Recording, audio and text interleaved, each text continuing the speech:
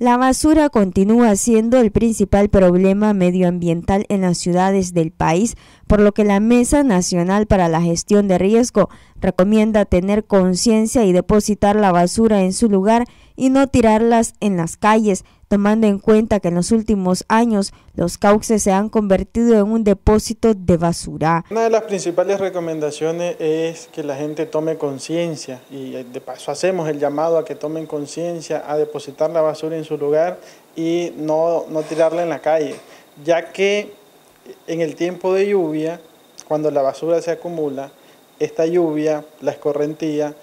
se va por los cauces y vemos que rápidamente se está inundando no solo Managua, que ya sabemos que, es común que en las calles de Managua por la cantidad de basura se inunde, sino también lo vemos en, en muchas ciudades del país. Entonces el llamado para que la gente tome conciencia y deposite la basura en su lugar, no, que no vaya a los basureros clandestinos, que no tiene la basura por la ventana del bus, la ventana del, del vehículo y que aportemos todos a tener una, ciudad más limpia. Es una mala práctica que muchos pobladores realizan que ven el, causa, el cauce como un depósito de basura y entonces ah,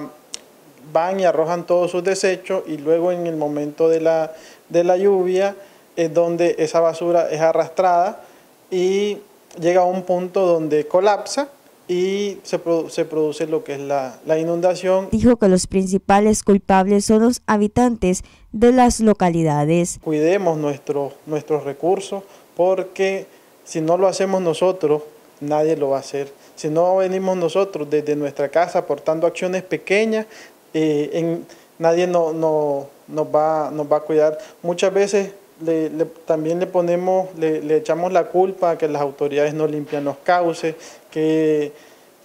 que no hay acciones que, que realizan las autoridades, pero los principales culpables estamos allí en la comunidad. Nosotros también tenemos que ser esos vigilantes de que eh, no se deposite basura en estos, en estos lugares. Noticias 12 Darlene Telles.